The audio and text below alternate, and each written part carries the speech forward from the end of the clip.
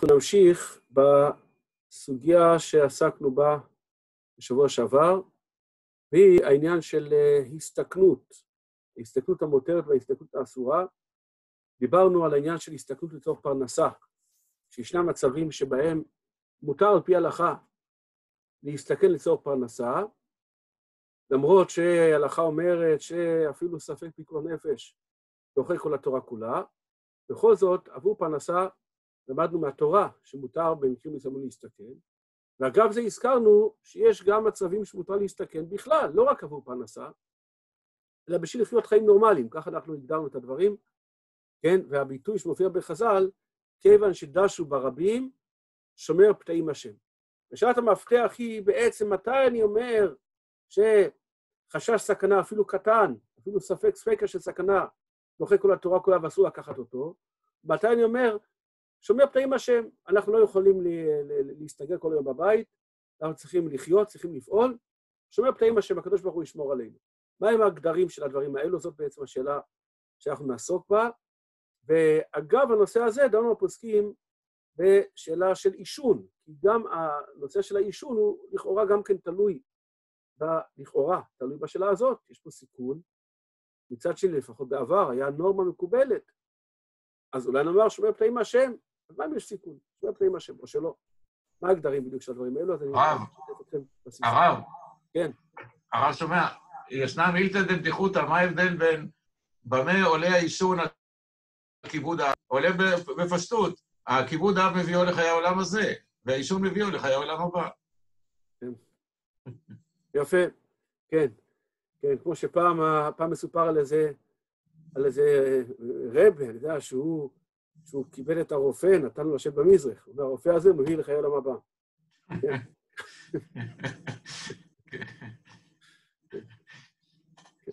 אוקיי, טוב. אז אם כן...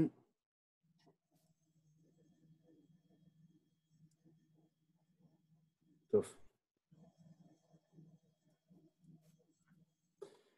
אוקיי, אז נראה כמה, נתחיל עם כמה סוגיות שבהן הוזכרה, הוזכר הביטוי הזה, שומר פתאים השם, ונראה מה אפשר ללמוד ממנו להגדרה. מתי אני אומר שומר פתאים השם? מתי אני אומר שאסור לקחת שום סיכון?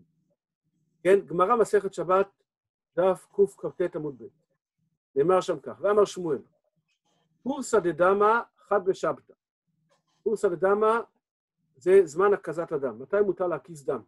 והקזת דם מצד אחד היה דבר שהיה בצורך רפואי אצלם, אבל היה בזה גם סיכון. אז לכן היה צריך לדעת מתי מותר להקיז דם, מתי אסור להקיז דם. אז אומרת שם הגמרא, פורסא דדמא, זמן ההקזה, חד בשבתא, ארבע ומה לשבתא. כלומר, מותר להקיז דם ביום ראשון בשבוע, ביום רביעי ובשבת. ובערב שבת, יום שישי, סליחה, לא בשבת, ביום שישי. אבל שני וחמישי, לא. ביום שני וחמישי אסור להקיז את הדם. למה? למה אסור להקיז דם ביום שני וחמישי? ואמר מר, מי שיש לו זכות אבות, יקיז דם בשני וחמישי. כלומר, בציניות, כן? מי שיש לו זכות אבות, הוא יכול להקיז דם בשני וחמישי. למה? שבית דין של מעלה ושל מטה שווים כאחד. כמו שבארץ, בית דין של מטה יושבים בשני וחמישי, אז ככה גם בבית דין של מעלה יושבים בשני וחמישי. אז בודקים את האדם, זה מעין יום דין, שני וחמישי. אנחנו גם מרבים בסליחות ביום הזה. אז מעין יום דין, שני וחמישי, אז uh, בודקים את האדם. ו... ובזמן שאדם נמצא בסכנה, אז מסוכן שבאותו זמן יבדקו אותו. מה זכויותיו, האם ראוי לנצל או, לא. ולכן לא טוב להקיס דם בשני וחמישי. עכשיו, ביטלת בשבתא, מה איתם הלא? למה בשלישי גם לא מקיזים דם?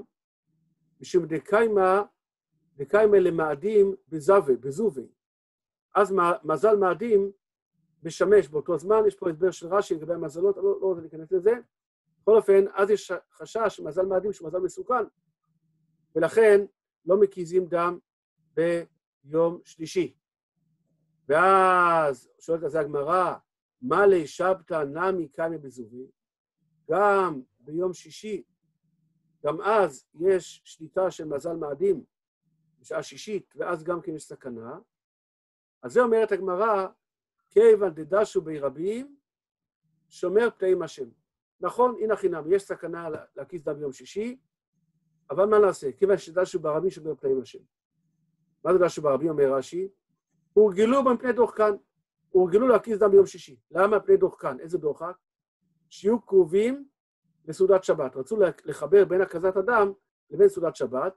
ואומרים להם בפירקין דלעיל, כבוד שבת בדגים גדולים. מכבדים שבת בדגים. במסכת עבודה זרה אמרינן שני לדם דג, כלומר שטוב לאכול דג אחרי הקזת הדם.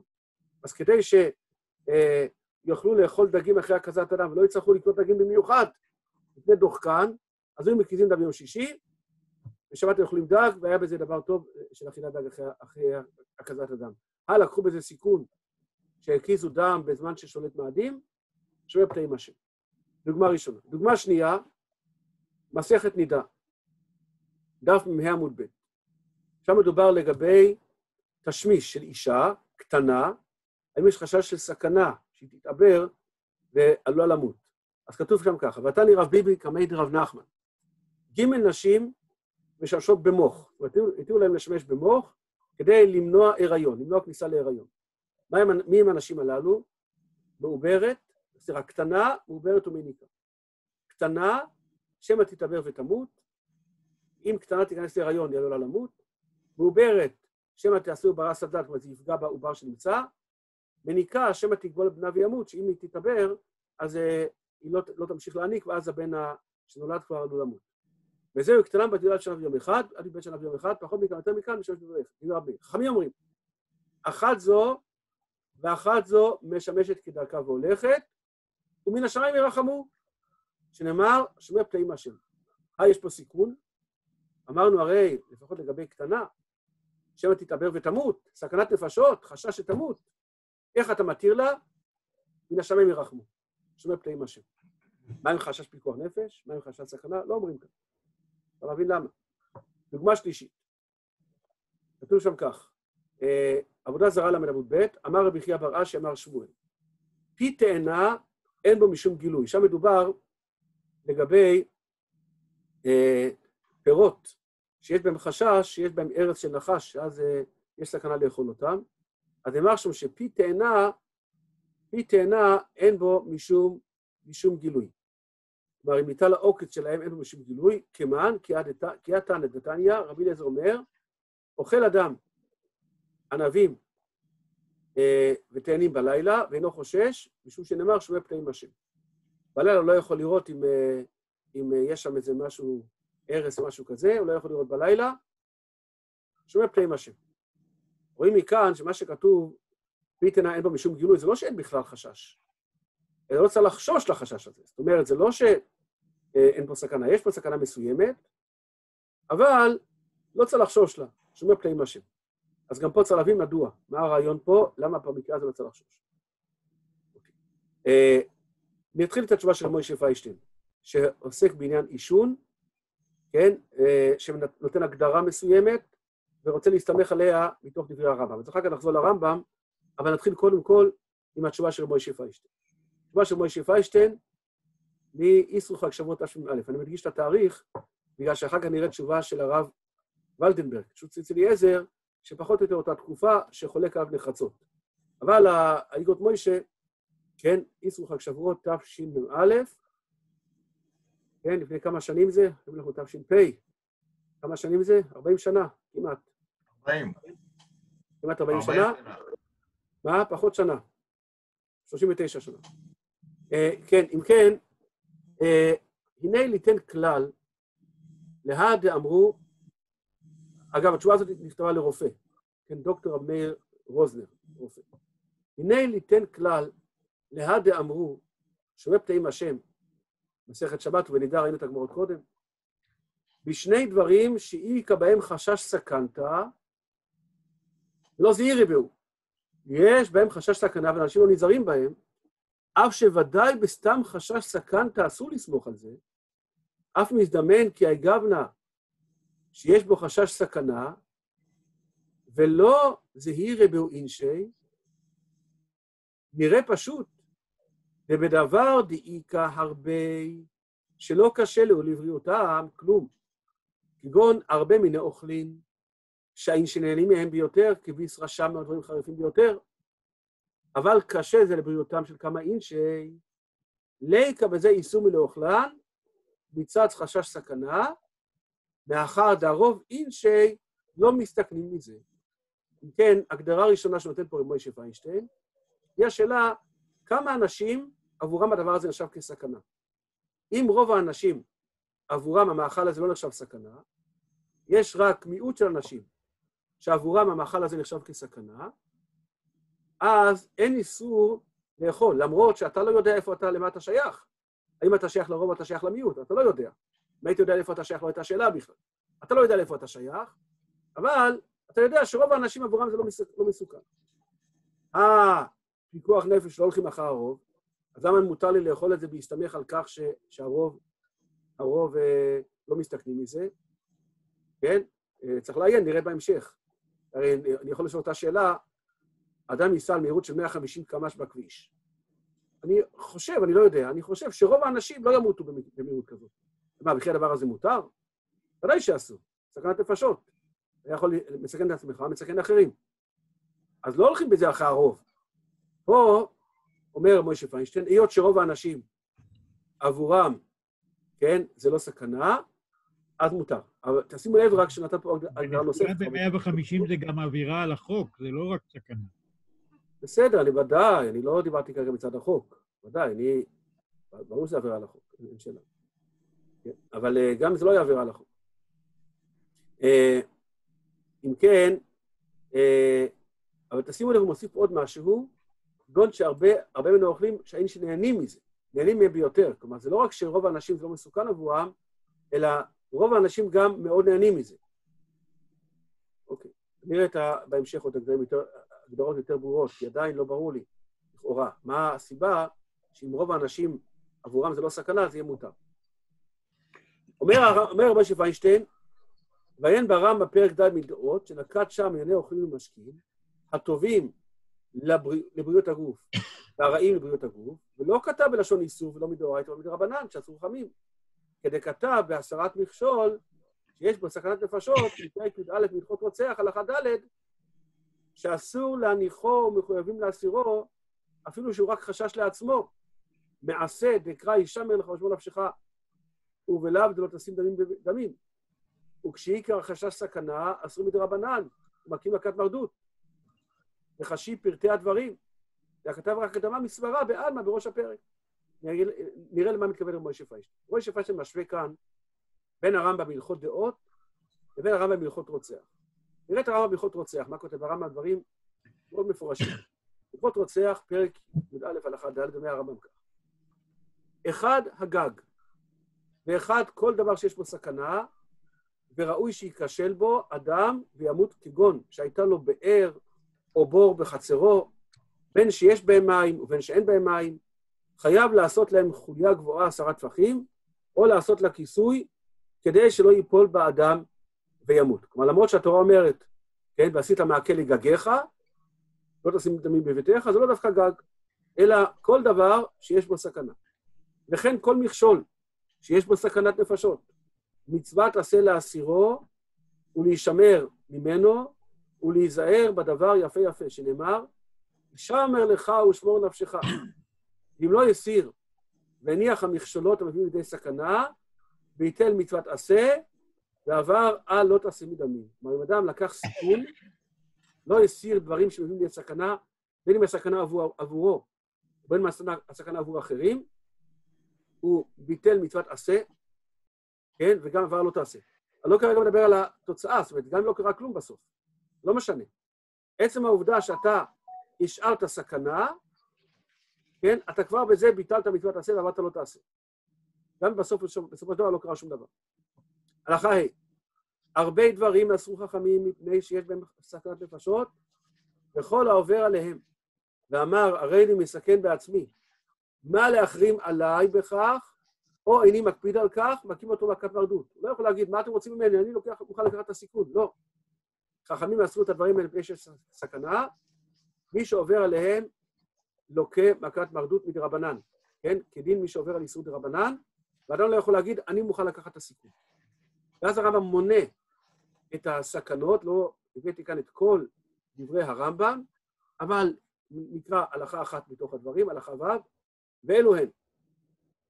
לא יניח אדם פיו על הסילון המקלח מים וישתה, ולא ישתה בלילה מן הנהרות ומן האגמים, שמא יבלע עלוקה, והוא אינו רואה, ולא ישתה מים מגולים, שמא שתה מהם נחש וכיוצא בו מזוחלי עפר, וישתה, וישתה וימות. כל הדברים האלו, אסרו אותם, למה? שמא אדם יסתכן בהם.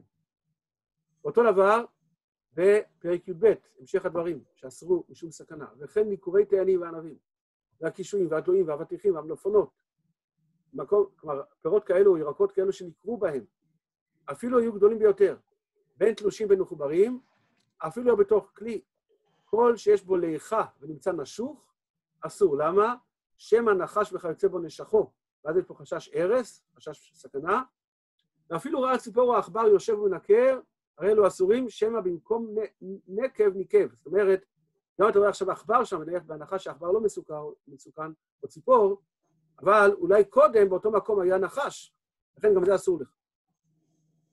אז בעלה, ועכשיו בהלכה ג' מביא את הרמב"ם, מביא הרמב"ם מה שראינו קודם לגבי אכילת תאנים וענבים בלילה, באיזה מצב זה מותר.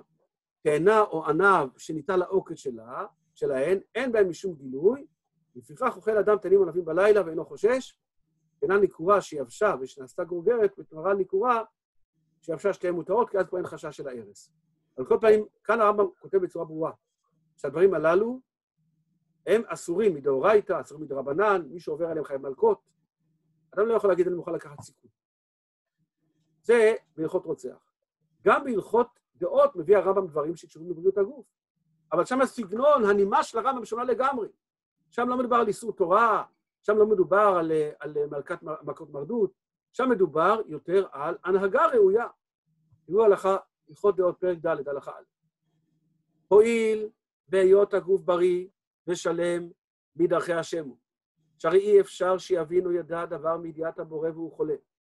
לפיכך צריך להרחיק אדם עצמו מדברים המאבדים את הגוף, ולהנהיג עצמו בדברים המעברים ומחלימים. ואלו הן, לעולם לא יאכל אדם אלא כשהוא רעב, ולא ישתה אלא כשהוא צמא, ואל ישעה נקביו אפילו רגע אחד, אלא כל זמן שצריך להשתין או להסך את רגליו יעמוד מיד. הלכה ב', לא יאכל אדם מה שתתמלא קריסו, אלא יפחות, כמו רביע משביעתו, לא יאכל עד הסוף. ולא ישתה מים בתוך המזון, אלא מעט ומזוג ביין. אגב, יש כאלו שהיום גם כן מיישמים את ההלכות האלו של הרמב"ם, כן, אומרים שהדברים האלה בריאים, אה, ולא אומרים איזה השתנו התוואים, כן, אלא ממש נותנים הדרכה לגבי אכילה, איך לאכול לפי הרמב"ם. אז זה, כן, בין השאר לא ישתה מים בתוך המזון, אלא מעט ומזוג ביין. וכשיתחיל המזון להתעכל במאיו, שותה מה שהוא צריך לשתות. ולא ירבה לשתות מים אפילו כשיתעכל המזון. ולא יאכל עד שיבדוק עצמו יפה יפה שמא צריך לנקביו.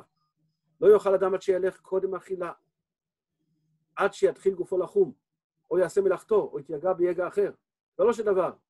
יענה בגופו ויגע כל יום בבוקר, עד שיתחיל גופו לחום, שגופו יתחמם, וישקוט מעט עד שיתיישב נפשו ויאכל, ורחץ בחמין אחר שיגע, הרי זה טוב, ואחר כך שואל מעט ואוכל. נותן כאן הדרכה, וגם בהמשך. וההדרכה הזאת, על מה היא מבוססת? על מה שהתחיל הרמב"ם בפרק א', שהיות הגוף בריא ושלם מדרכי השם הוא. ואי אפשר שאדם יבין או ידע דבר מידיעת הבורא והוא חולה. לכן צריך להרחיק אדם עצמו מדברים המאבדים את הגוף. אבל פה הרמב"ם לא כתב שמי שלא עשה את זה, הוא עובר על מצוות עשה, הוא בטל לא תעשה, מכים אותו בכת מרדות. הסגנון פה לגמרי שונה. הסגנון פה הוא של איזושהי המלצה, ולא של חובה, ש... חובה חמורה, כמו שבהלכות רוצח. מה ההבדל בין רשימת הדברים שמופיעים בהלכות רוצח לבין רשימת הדברים שמופיעים בהלכות דעות? אומר רב מוישה פיינשטיין, הנקודה היא בדיוק מה שאמרנו. נראה עכשיו את הדברים בפנים ברב מוישה פיינשטיין. הוא משום ועל כל הדברים, כן, אני כאן איפה שאני מסמן פה, כן, ומשום, ועל כל הדברים האלו שפירט אותם בהלכות דעות, לא שייך לאוסרן ממש. מאחר דהרוב מהן ענייני הנאה הן, ולרובה דרובה דאינשי לא מזיק לו כלום. כן, אז כן, זה דבר, דבר שאנשים נהנים ממנו, ורוב האנשים, רובה דרובה דאינשי לא מזיק להם. אבל אני מוסיף עוד משהו, ואי כהרבה מהן, שאי אפשר להיזהר בהן, להיזהר בהו, להרבה אינשי, שטרידה בפרנסתם. אדם צריך בבוקר ללכת לעבודה במהירות, אין לו זמן, כמו שמדריך הרמב"ם, שקודם יעשה איזו התעמלות, אחר כך יתרחץ, אחר כך יאכל, כל הדברים האלו, אדם לא, לא, לא יכול להספיק אותם, כי, הוא צריך למהר לעבודה, לא בפרנסתו. בעיקר בית שלו שייך שיתערו בזה. עניים, שמרוויחים רק מה שמצומצם לכדי חייהם. כלומר, אז אם כן, יש פה, הרב משה פרש מוסיף עוד נימוקים. קודם כל, זה דבר שאנשים נהנים ממנו. דבר שני, זה דבר שרוב העולם לא, לא מזיק להם. דבר שלישי, יש כאלה שלא יכולים להיזהר מזה. אלה שטרודים בפרנסתם, ואלו שהם עניים ואין להם אה, אה, אמצעים. שלכן לא שייך לאסור, אלא רק לעורר לעלמא, במה שידעו איזה דבר הוא טוב ואיזה דבר הוא רע. ולייעץ לשם, ולייעץ להם, כלשון של הכת הרמב"ם. אני רוצה לשאול אבל, מה זה מה שהוא אומר כאן, שיש עניים שלא שייך שיזהרו בזה? מה? האם מותר להסתכן מסיבות כלכליות? האם בגלל שעניים לא יכולים להיזהר בזה, לכן מותר לקחת סיכון? אז רואים שכן. רואים כאן מההגדרה של מוישה פשטי נותן, שמותר לקחת סיכון גם מסיבות כלכליות. אין לי אפשרות כלכלית להיזהר מזה. לכן אני יכול לקחת סיכון. אז כן, זה תלוי איזה סיכון, ראינו פה, זה לא כל סיכון. זה דבר כזה שלרוב העולם זה לא מזיק בכלל. רק מעט זה מזיק להם, כן? ויש בזה הנאה גם כן לאנשים. אבל גם השיקול הכלכלי הוא גם שיקול שנכנס כאן. כמו שפט שמכניס אותו. בגלל שיש עניים שלא יכולים להיזהר מזה. ולכן לא שייך לאסור את זה.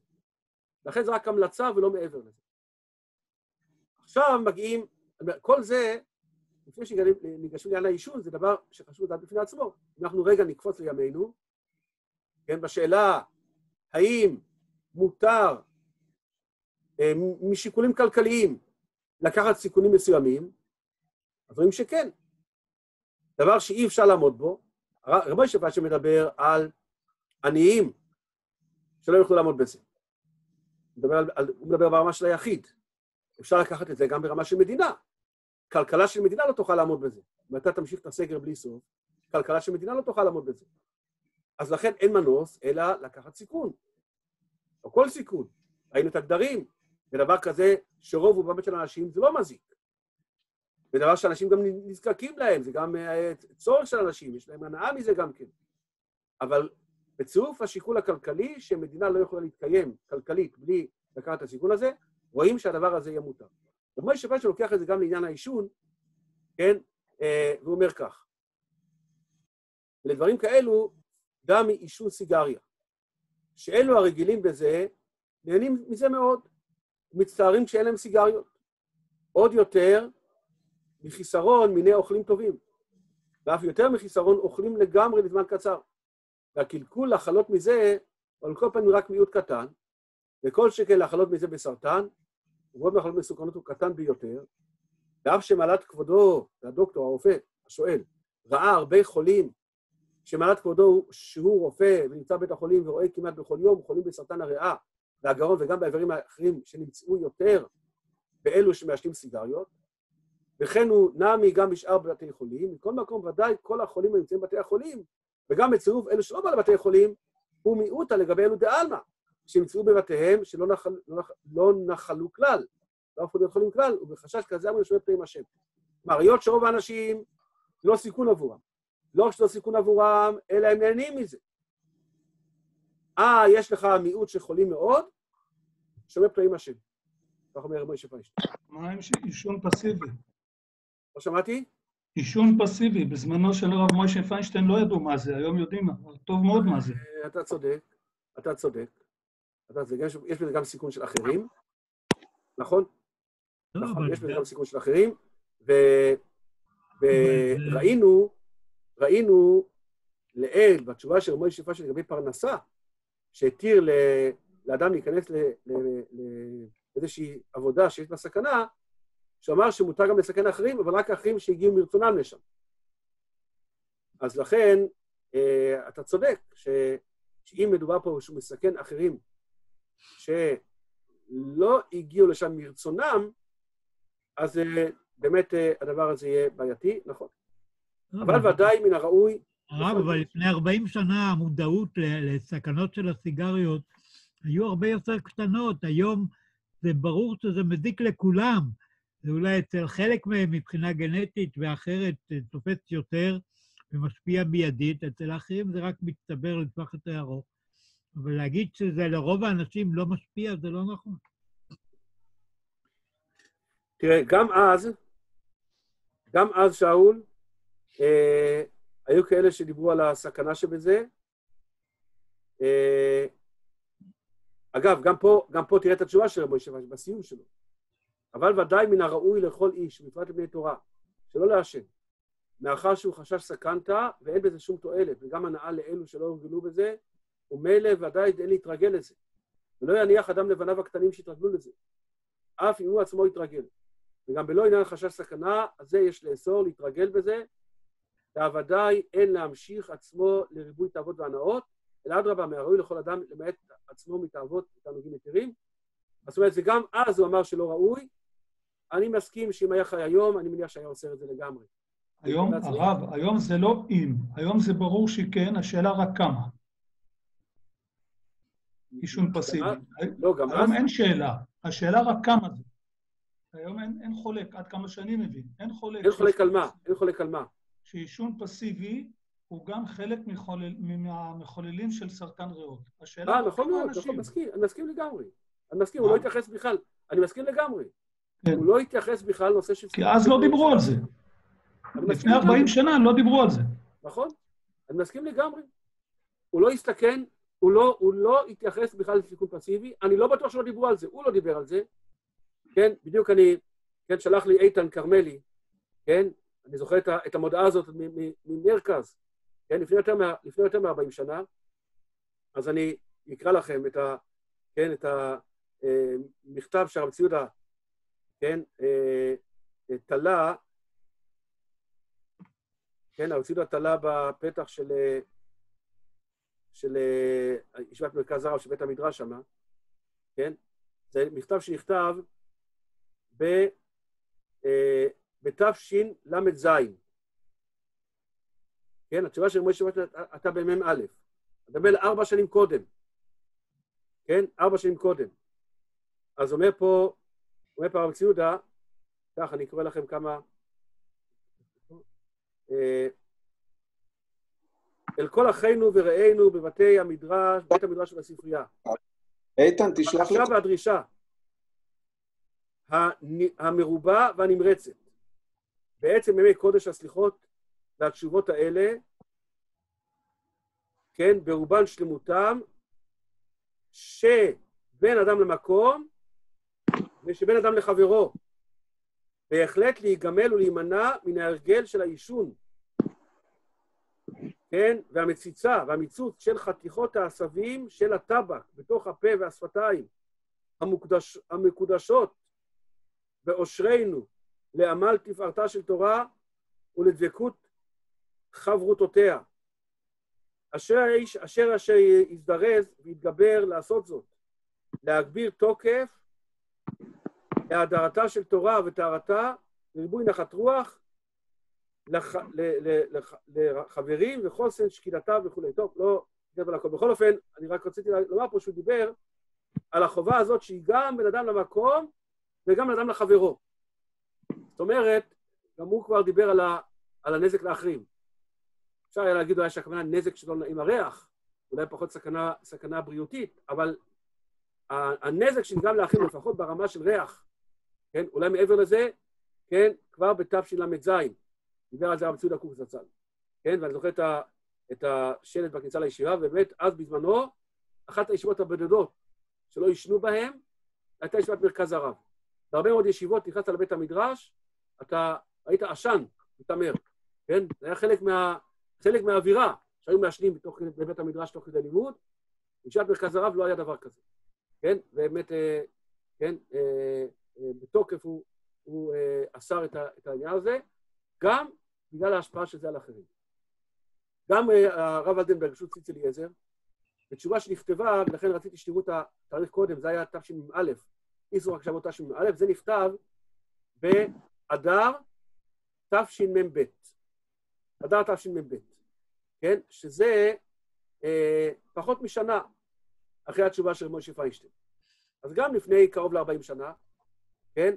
אה, כתב הרב אליעזר ולדר ברשות ציץ אליעזר, אה, תשובה לגבי, ה, לגבי העישון, אם יש לאסור על פי דין עישוני סיגריות, עם הזכות ביד הנמצאים במחיצה אחת עם המעשן למחות בידו בנימוק שהעשן מזיק להם, אז אתם רואים שכבר אז דיברו על כך שהעשן מזיק.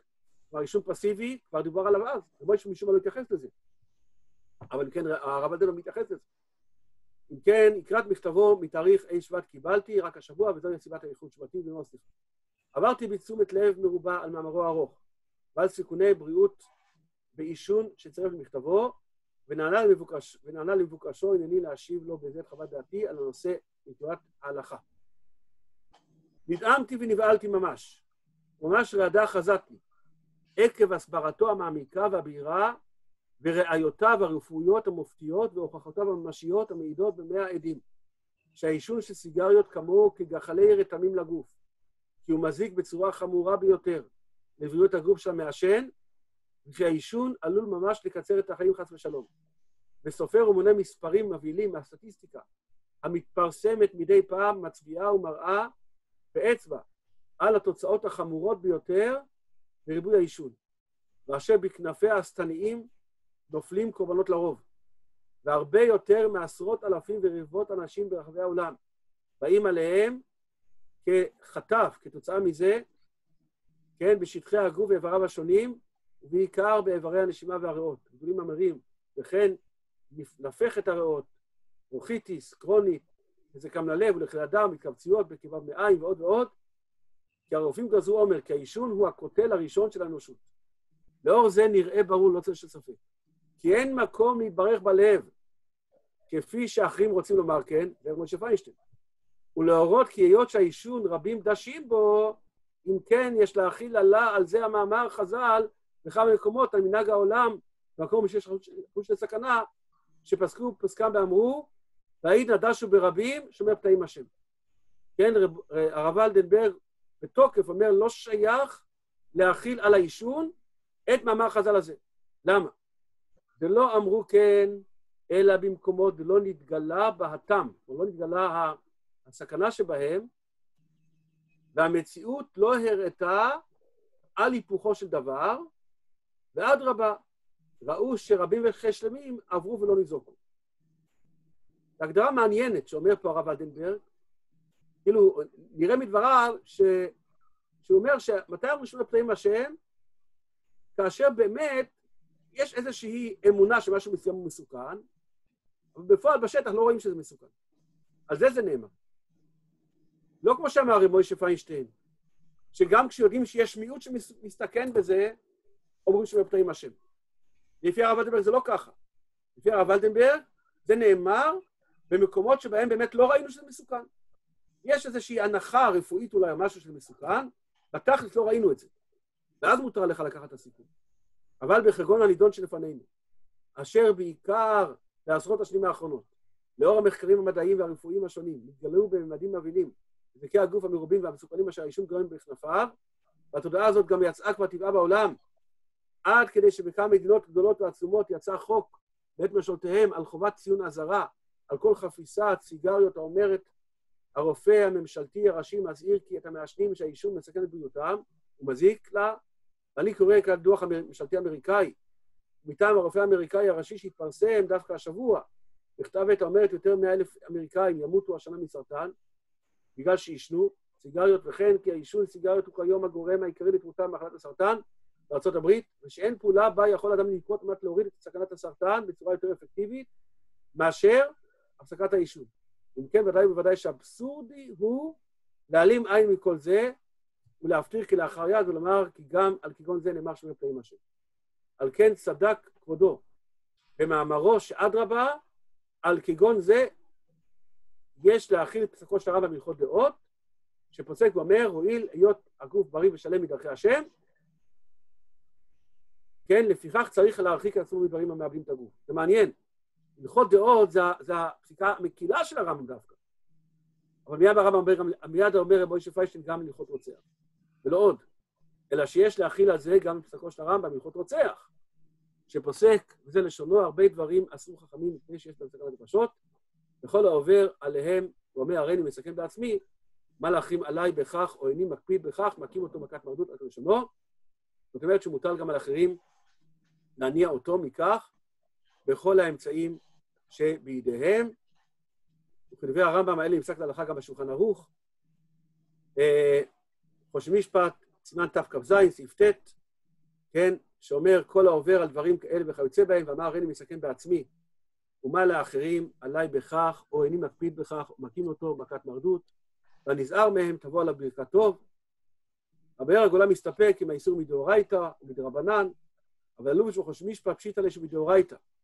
הוא מסיים בלשון מכים מכת מרדות, שהרי עבר על איסור דאורייתא, יוצאים משם מלך ושמור נפשך, לא בגלל שהוא עבר על איסור דרבנן, אז איסור דאורייתא הוא עבר, על, אה, בכך שהוא לא נזהר ולא שומר, לא שומר על עצמו. ומצינו אחד מיוחד שיצא להתריע נגד העישון. כבר לפני עשרות שנים, זה הכהן הגדול מאחיו, החפץ חיים. כן? המשנה ברורה. כן? והוא לא בספרו ליקוטי אמרים, פרק י"ג, למדי דברו והטיפו על הרעות הכבדות אגב העישון, על ידי כך קובעים את עצמם לדבר דברים בטלים, בלשון הרע, בזבוז זמן ובזבוז כספים, כן? שאגב, זה דבר מעניין. שני דברים שאתה עושה עם הפה שהם מסוכנים, גם לשון הרע וגם עישון, וכנגד שניהם יצא חפץ חיים, שני הדברים הללו. הוא מוסיף וכותב, זה לשונו, ואגב, דעתי לידי אודות עישון סיגרים, נדבר קצת אודות זה. הנה כמה רופאים גזרו אומר שכל מי שהוא חלוש אסור להרגיל את עצמו בזה, שמחליש תקופותיו, ולפעמים גם נוגע לנפשו. ואני דיברתי כמה פעמים עם חלושי כוח אודות זה, וענו לי שגם הם יודעים ומכירים בעצמם שהעישון קשה להם. אחרי שהורגלו, בזה מכבר קשה להם לפרוש מזה. אמרתי להם, מי התיר לכם להרגיל עצמכם על כך? כבר חפץ חיים עוד שנים, שנים קודם לכן. גם ציודה גם כן ראינו, כן, אה, כדבר, כדבר פשוט. אבל אגב, כל הדיון הזה, ולכן הבאתי את זה, לא בשביל למצוא היתרים לעשן ההפך. דברים חמורים, מפורשים, שהעישון הוא אסור, אלא כדי שמתוך זה נראה את ההגדרה של מה זה נקרא שומר פתאים השם, מתי כן מותר לקחת סיכון, מתי אסור. לפי רב משה פיישן ראינו שברגע שיש רוב, שעבורם זה לא מסוכן, ויש גם צורך כלכלי, ויש גם צורך של הנאה של אנשים, אז מותר לקחת סיכון. הרב אלדנברג לא קיבל את זה. נראה מהרב אלדנברג שאומר, שאומר, אומרים שומר פתאים השם, רק כאשר מדובר בדבר שבאמת לא ראינו שהוא מסוכן, אלא יש uh, הנחה כזאת ש, ש, שזה סכנה, אבל בפועל אנשים לא נפגעים מזה, רק אז מותר לקחת את הסיכון, ולא בדבר שיש לנו אה, מידע מבורר וברור שיש בו סכנה. אמנם, גם לפי הרב ולדנברג, מותר להסתכן לצורך פרנסה. הרי ראינו את התשובה שלו, של הרב ולדנברג, ראינו את התשובה שלו בשבוע שעבר, כן? אה, שדיבר, כן, על, אה, על אה, העובדה שמותר לאדם אה, אה, להפליג בים, כן, בספינה, וכן הלאה, ללכת במדבר, כן? מותר לאדם לקחת סכנה בדברים שהם, שהם צורך, כן? כמו שהגדיר את זה כאן, מנהגו של עולם. כן, מנהגו של עולם, לפרוץ בים וללכת למדבריות. למרות שאין הולכים לפי כל נפש אחר הרוב, זה דווקא ויש, ויש ודאי סכנה לפנינו. רוב נפל עליו הגל, ואז חוששים אפילו למיעוטה למיעוטה. אבל אם בשעת האין כאן פיקוח נפש, רק חשש לסכנה הבאה בזה, אז דינא בתרובה, או דינא איסורה. כלומר, גם רבי יוסף איינשטיין, סליחה, גם הרב ולדנברג כן מסכים שכשיש צורך, לפחות כשמדבר בפרנסה, אז לקחת סיכון מסוים. ואם לא כן, איך מותר לרד לים ולצאת למדבר? לקבוע זה ברכת הגומל, זה מה שיש בזה סכנה, אבל לא אסור ללכת לשם, כן? כן, וגם, כמו שראינו בנדב ביהודה, ראינו את זה בשבוע, בשבוע שעבר. ואז מילא, מתעוררת השאלה מה קורה כאשר אנחנו עוסקים בשאלה של עישון, עישון לצורך פרנסה. עישון לצורך פרנסה, יהיה מותר או יהיה אסור? אתה רוצה לפגוע איזה פגישה עסקית. ואתה יודע שבשביל שהפגישה יותר תזרום ותצליח, ואתה תיתן איזה סיגר, כן, לאותו אחד שאתה נפגש איתו, תיתן לו, כן, אז אה, תיווצר ביניכם יותר ככה, אה, אה, ייווצר קירוב יותר ביניכם, והפגישה תצליח. האם הדבר הזה יהיה מותר, או שהדבר הזה יהיה אסור? יש קונטרס שנקרא קונטרס, קונטרס מעלה עשן. קונטרס מעלה עשן, שהוא אה, על נושא של העישון, והוא כותב כך: ושמענו עוד היתר מאדם גדול שאוסר את העישון מטעמי בריאות, שהרי כתוב ונשמרתם מאוד לנפשותיכם, ומי הוא לסוחר אחד בארצות הברית, שהוא סוכן למכירות, התיר מהסיבה דלקמן, כן, שכן יוכל לעשן. ומהו הדבר? הנוהג במיוחד בארצות הברית, שכדי להתחיל לשוחח עם הקונה על טיב סחורתו, מציע לו סיגריה.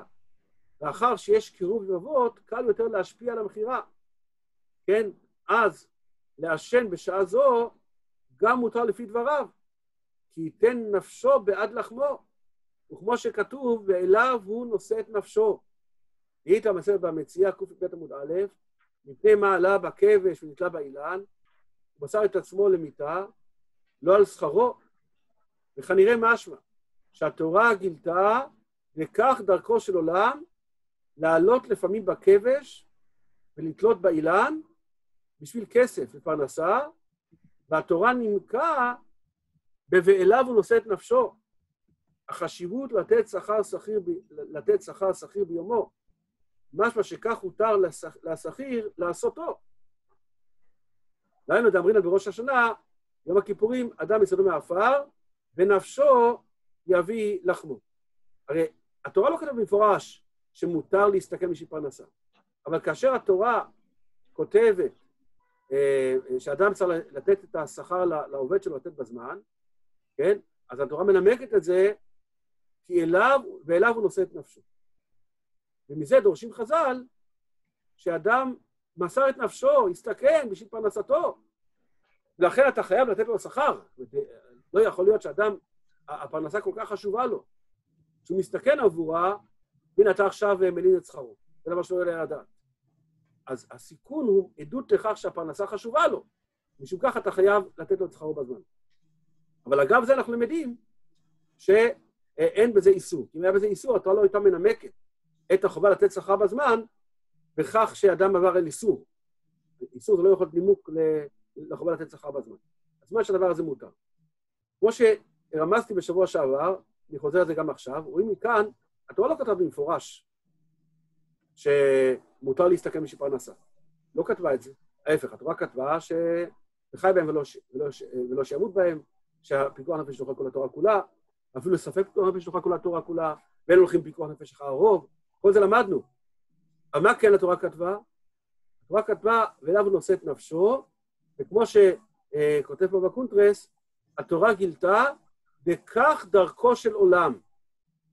כלומר, זה לא מגיע מלמעלה, אלא מגיע מלמטה. הזכרנו שבוע שעבר את עניין חוכמת ההמונים.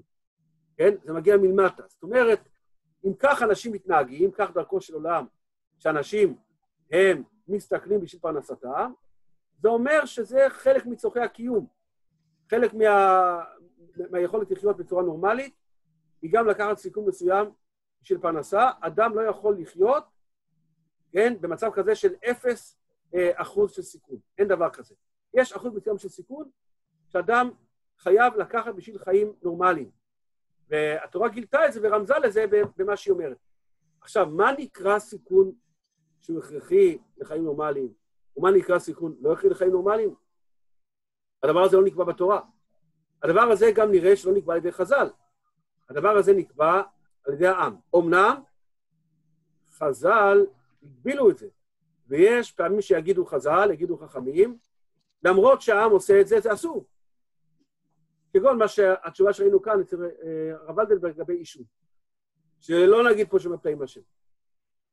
אבל הבסיס הוא כאשר יש איזושהי צורת התנהגות מסוימת שהעם רגיל בה, וראינו שהדבר הזה נובע מכ- מכך שהסכנה היא סכנה רק למיעוט אנשים, אה, זה צורך של אנשים וכן הלאה, והעם רגיל בה, אז יש פעמים שהדבר הזה יהיה מותר, למרות שזה סכנה.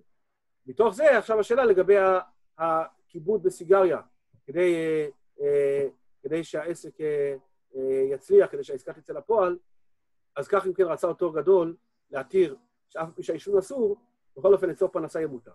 פה בקונטרסר הוא כותב, אולי זה לא דומה בדיוק. אולי נראה, אולי נראה לנו שיש לה, הבדל קצת, בין אם הוא מוסק, מוסק זיתים או גודר תמרים, וצריך לעלות על האילן וכדומה, וזה גוף עבודתו, ובין אם הוא עובד במכירת סחורה, הוא מחפש תחבולה למכור חפציו.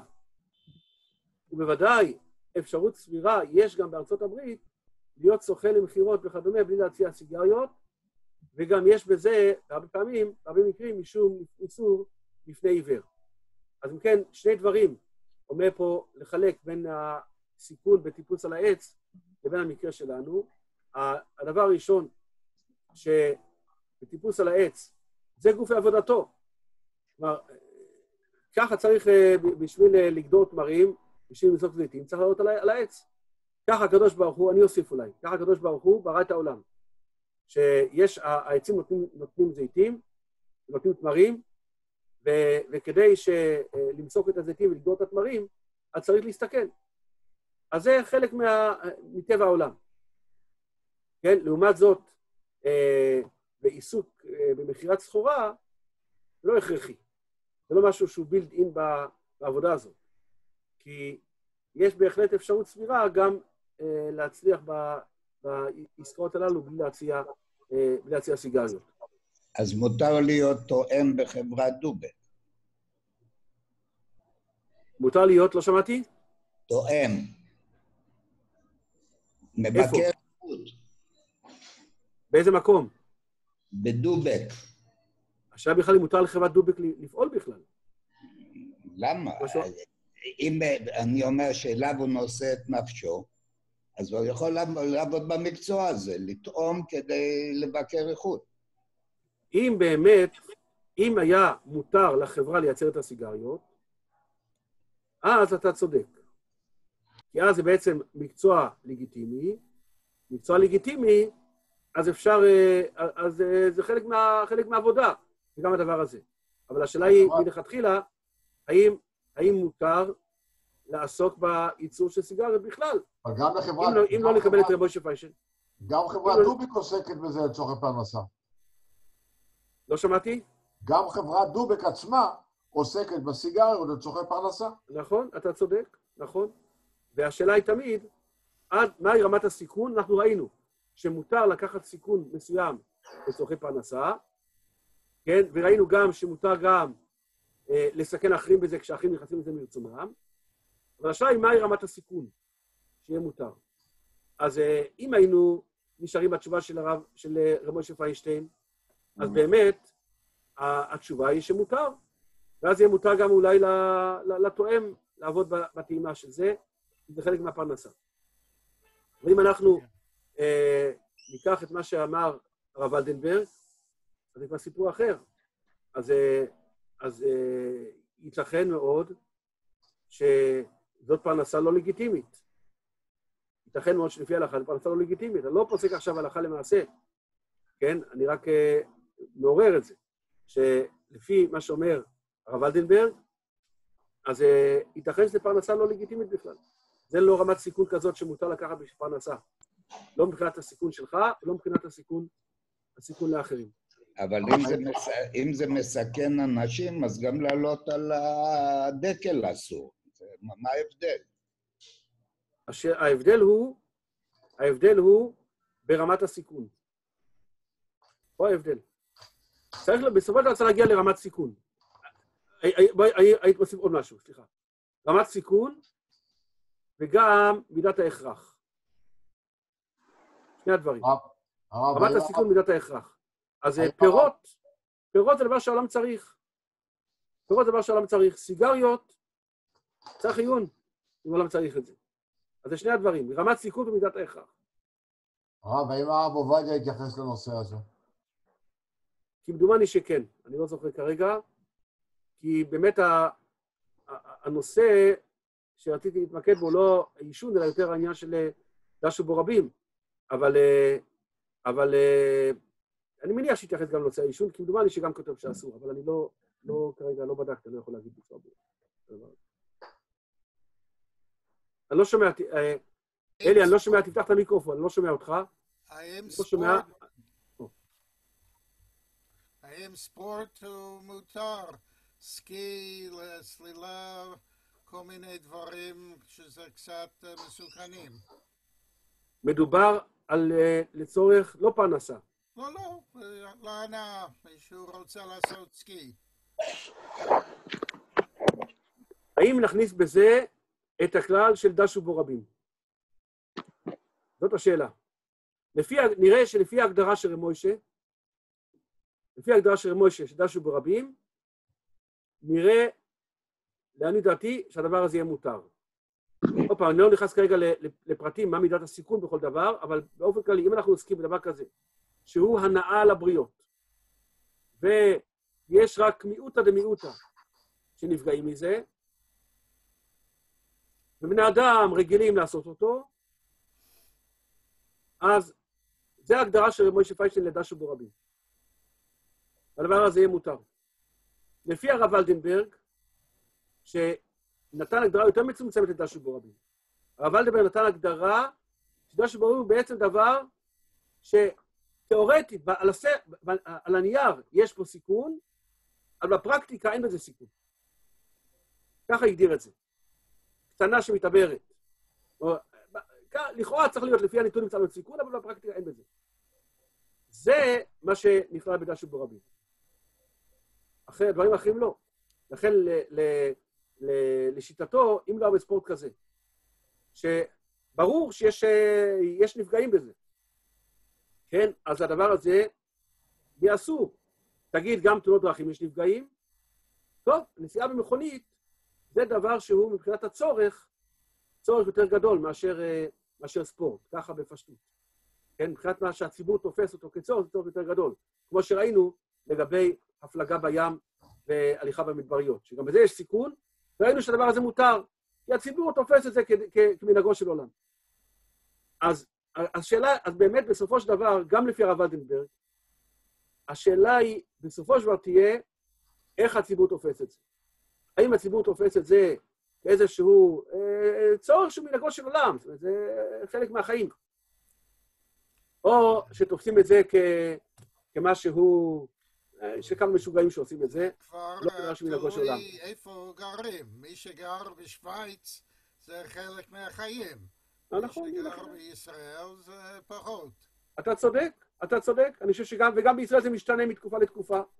ולא דומה מה, ש, מה שחשבו לפני 40 שנה בעניין הזה למה שחושבים היום. אני מסכים לגמרי. ההגדרה פה, זה מעניין, אבל זו הגדרה הלכתית. כאשר הציבור רואה את זה כחלק מהחיים, על זה להגיד דשו בו רבים. זה כמו הליכה ב... הפלגה בים והליכה במדבר. עוד פעם, כמובן בתנאי שאנחנו לא עוסקים פה ב- ב- בסכנה גדולה. בסופו של דבר הסכנה היא מיעוטה למיעוטה. בצירוף העובדה שהציבור רואה את זה כחלק מהחיים, אז הדבר הזה יהיה מותר. גם לפי הרב הרב. הרב, השאלה, היום שיש את חוק איסור עישון במקומות ציבוריים, ויש חוק איסור לפרסום אפילו של מכירת סיגריות, עד כמה התשובות האלה רלוונטיות היום? הרי אני הציבור חושב, היום... אני חושב שהחוק בעניין הזה, יש לו חשיבות גדולה מאוד, מעבר לעניין של שמירה על החוק, כי חברות, ה, חברות פה- הטבק, חברות הטבק בזמנו באו ואמרו, רגע, נפטר עובדים, זה, זה כלכלי, לא עזר להם שום דבר. אסרו את הפרסום. נכון? אני חושב שהחוק, אני חושב שהחוק פה, הוא גם משקף, משקף במידה רבה את ההתייחסות של הציבור לזה. והיום הציבור, בניגוד למה שהיה לפני 40 שנה, היום הרוב הגדול של הציבור רואה את זה כדבר מסוכן. זה גם דינא דמלכותא, לא? זה לבין נסיעה ברכב. זה גם לא דינא דמלכותא. מה? זה גם דינא דמלכותא. מאה אחוז. אני, אני אומר, אני אומר, מעבר לזה שדינא דמלכות, מעבר לתקנת הציבור, יש בה, יש בה חוק גם, בדבר הזה, יש בו גם אה, אה, ביטוי של יחס של הציבור. אגב, באמת, אילו החוק הזה היה נשאר רק אות מתה בספר החוקים, ובפועל היית רואה שבכל מקום מעשנים חופשי, אז היה לזה משמעות הלכתית גם כן. ולמרבה הפלא הוא זה רק- תפס. זה רק, אה, זה רק אות מתה, זה שום דבר. הציבור לא רואה את זה כדבר מסוכן. למרבה הפלא הוא תפס, למרות שזה נכון. מדינת ישראל. נכון, נכון. זאת אומרת שהציבור רואה את זה כדבר מסוכן עכשיו. ברגע שהציבור רואה את זה כדבר מסוכן, על זה לא נאמר כדע שבו רבים. וכאן יכול להיות שגם משה פיינשטיין היה מודה בנסיבות של היום, בנסיבות של היום, בנסיבות של היום, שעל זה לא אומרים שבו רבים, כי הציבור לא רואה את זה כחלק מהחיים, ההפך. אבל אם- בהחלט החוק- יש לה, יש אם לחוק. לא... מה? אם החוק לא היה תופס, אז הייתה מתעוררת, היה מתעורר- מתעוררת ההתנגשות שבין החוק מצד אחד עם חיוב הלכתי של דינא דמלכותא, ומצד שני לכלל ההלכתי שדשו בו רבים. אה, נכון, יחד עם זה שאני חייב, לומר- שאני רוצה להטיל ספק, גם, ב, של דבריך, וזה לא נושא השיעור שלנו, כי אנחנו לסיים, אבל האם דינא דמלכותא תקף גם כאשר הציבור לא מקיים את החוק בכלל? זאת שאלה בפני עצמה, אבל זה לא, לא בשביל עכשיו. טוב, שיהיה המשך יום טוב, מוזמנים להמשך... הש- יישר להשיב כוח, של תודה רבה.